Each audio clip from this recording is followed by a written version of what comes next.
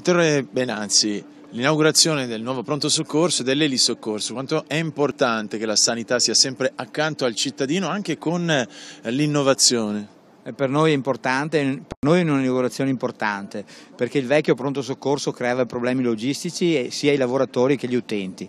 Oggi col nuovo pronto soccorso con spazi ampi dove la gente può trovare comfort, accoglienza eccetera eh, diventa completamente diverso, quindi per noi è un'inaugurazione importantissima.